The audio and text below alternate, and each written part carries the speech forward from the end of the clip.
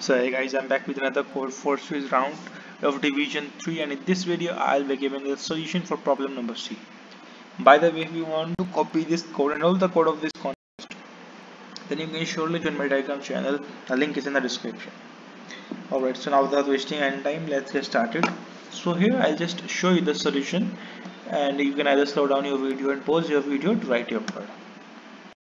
So here we are and don't forget to join the telegram guys because you know i have posted something special on my telegram just for you guys.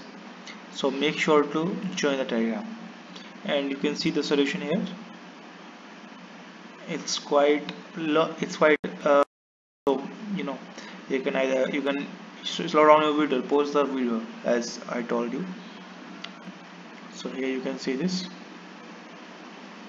Let me just zoom out this so that you can comfortably copy it so here we go.